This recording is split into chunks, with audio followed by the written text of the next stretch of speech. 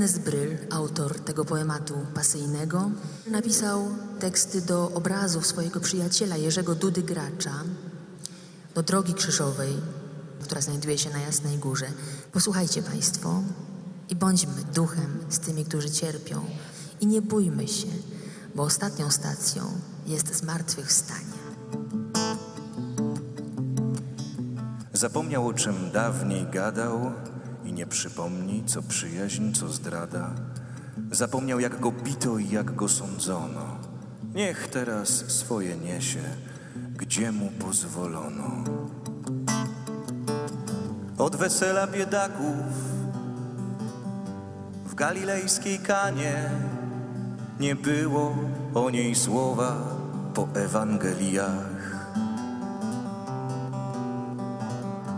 bo niepotrzebna była tam Maryja, gdzie było cudów wielkie świętowanie.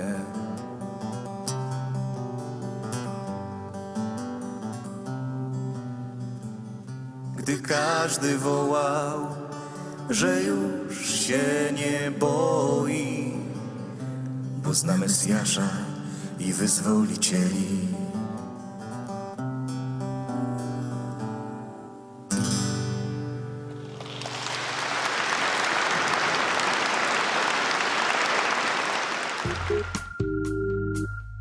Mojej rodzinnej wsi wówczas nie było jeszcze prądu, więc zdjęcia robiło się przy lampie naftowej. Ale zdjęcia takie można było robić i w klasie, w liceum robione były zdjęcia, które do dzisiejszego dnia stanowią ogromną pamiątkę w moim rodzinnym albumie. Pojawiłem się w Nowej Hucie w roku 1966. Pierwsza praca, studia i dopiero jak urodziły się pierwsze dzieci, wróciłem do fotografii. Były to zdjęcia oczywiście pierwsze rodzinne, a potem zacząłem spotykać się z kolegami fotografującymi w Nowej Hucie. Pobyt w klubie fotograficznym spowodował, że zacząłem się interesować bardziej fotografią artystyczną. Pierwsze zdjęcia robiłem z terenu Nowej Huty gdzie jakoś zaciekawiło mnie to istniejące zagrożenie środowiska. Były to zdjęcia czarno-białe i taka seria tych zdjęć, które powstały wówczas, były na szeregu wystawach, również w kraju i za granicą, bo i w Norymberdze taka wystawa była. Bardziej zwracałem wtedy uwagę już na sprawę formy i oddania w tych zdjęciach jakiegoś klimatu.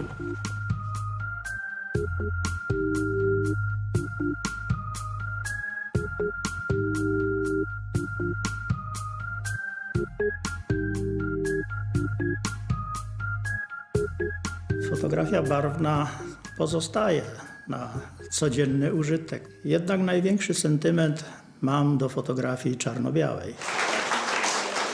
Witam bardzo serdecznie na uroczystości nadania tytułu y, honorowego Krakowianki roku 2013 pani Annie Lutosławskiej-Jaworskiej.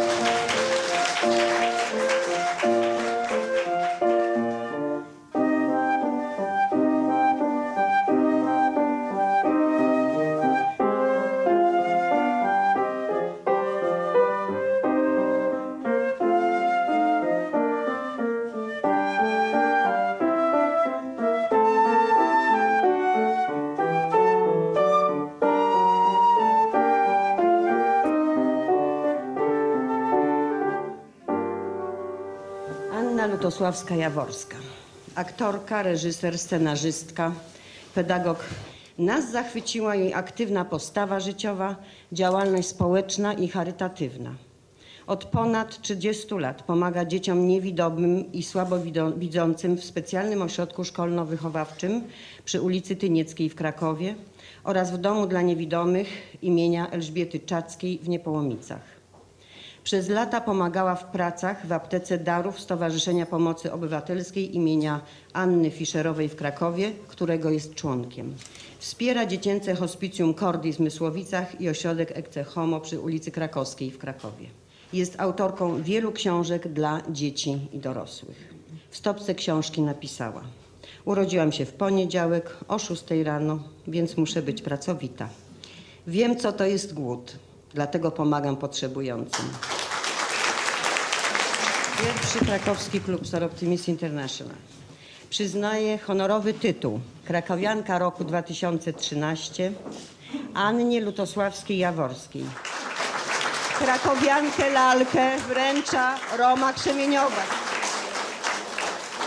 Nie mam wiele do powiedzenia. Może to, że czuję się krakowianką rzeczywiście, bo się tu urodziłam, tu wykształciłam i tu debiutowałam. Jeszcze jako studentka świerszcz za kominem i grałam świerszcza.